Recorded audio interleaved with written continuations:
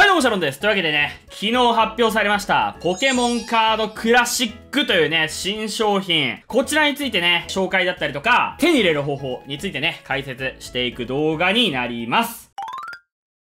ポケモンデーで発表された商品になるんですけれども、こちらはね、スタンダードレギュレーションとかで普段ポケモンカードを遊んでる人たちが、こうデッキのカードを強化するために買うっていうような商品では全然なくて、まあどっちかというとこうボードゲームというか、このセットで遊びましょうみたいな感じのセットになっているという印象のセットです。入っているカードは、まあリザードンとかね、不思議花とかカメックスとか、いわゆるキューラ時代のカードが、まあ割とそのままのね、性能で入っているという感じになっていて、デッキにね、れてスタンダードレギュレーションとかで遊ぶことはできないみたいなんで、もう本当にこのセット単独のカードっていう感じになってるみたいですね。で、まあ、このセットの特徴としては、やっぱりこのダメ感とかですかね。本当にこのセットだけで遊べるようになっているんで、ダメ感とかが入ってるんですけれども、めちゃくちゃこのね、個性的というか、上にこうやって積み上げる形のダメ感になってて、これめっちゃいいよね。視認性もいいし、バラバラもしないし、これ普通に商品としてさ、販売してくれよって、これだけ販売してくれよって思うぐらいいいですよね。で、まあ、毒やけどマーカーとかもあったり、まあ、専用のデッキシールドとデッキケースなんかも入ってたりするみたいですね。あと、このね、ねコインを投げる代わりに、このルーレットみたいなところに、弾をね、金属球を転がして、ぐるぐるぐるぐるってやって、白いところに入ったら表みたいな感じで、コインの代わりにできるみたいなんですけど、これね、カイジのね、沼とかで出てくるあのクルーンみたいな感じになっててめっちゃ楽しそうだし、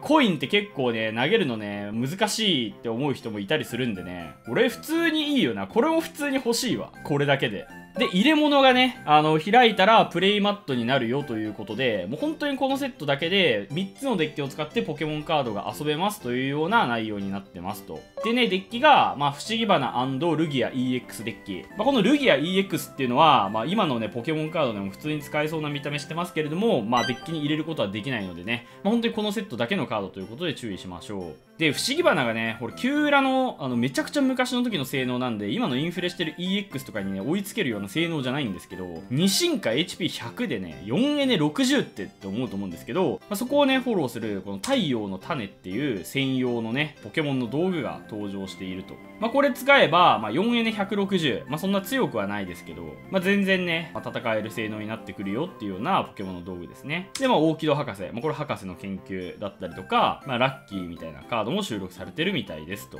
で、リザードンと鳳凰 EX のデッキ。まあ、リザードンはね、これもう皆さんご存知だと思いますう、怪力ポケモンとかがね、もしね、1000分の1とかでも確率で収録されてたら、マジで100万円とかになりそう。さすがにそんなことしないと思いますけれども、まあ、こんなね、リザードン使った時、リザードンも、この灼熱の木炭っていう専用のね、ポケモンの道具があったりして、鳳 EX もね、まあ、これもルギアと一緒でね、普段のポケモンカードでは使えないんですけど、エターナルブレイズっていうね、なんかめちゃくちゃ聞いたことある曲名みたいな技を持っていますと。で、カメックススイクン EX デッキ。スイクン EX のイラスト良すぎんだよな。これめちゃくちゃいいですよね。でもなんかカメックスが特殊能力雨乞いなのに、スイクン X が特性アクアフロートなのなんかちょっと面白いんだよな。だからこのデッキも大会の雫っていうカードが入ってたりとか、まあ、ロケット団の幹部っていうね、まあ、これ実際に存在していたカードなわけなんですけれども、N と同じような効果を持っている、まあ、ロケット団の幹部というカードが入っていたりとか、まあ、そういったような、まあ、デッキが3つ入ってるという感じのセットになってます。でですね、まあ、このセットなんですけど、まあ、3万5千円なんですよね、お値段が。まあ、なので、まあ、結論から言って、まあ、普段ね、ポケモンカードを遊んでる、スタンダードレギュレーションで遊んでてね、大会とか出てますよって人が、まあ、絶対に手に入れないといけないセットとかではない。まあ、本当にこのダメ感、この個性的なダメ感使いたいよとか、まあ、そういう人はね、まあ、購入検討ありですけど、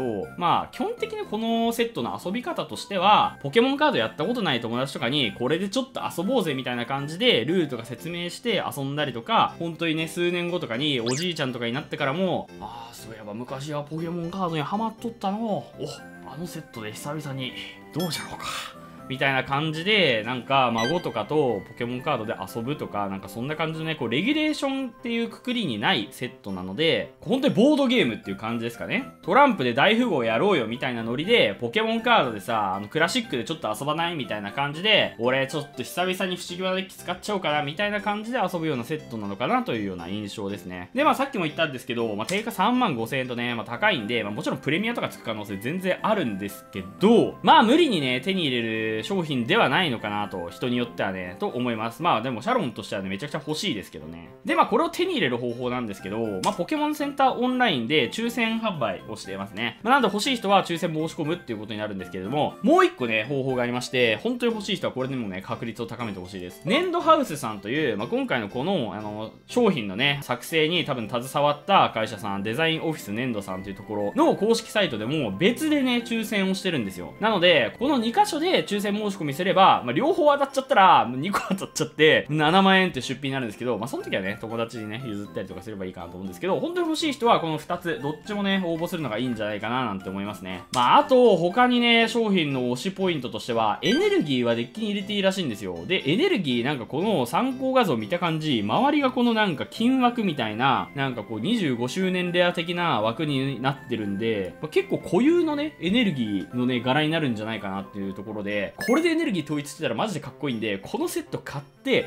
エネルギーだけ抜き取って、このセットのね、デッキの方のエネルギーには、もうその辺のノーマルのエネルギー入れて、自分のスタンダードレギュレーションに使ってるデッキの方に、このめちゃくちゃかっこよさそうな炎エネルギーとか草エネルギーを使う。まあ、そんな符号みたいな遊び方もありかなと思いますね。個人的にはちょっとやってみたいですけどね。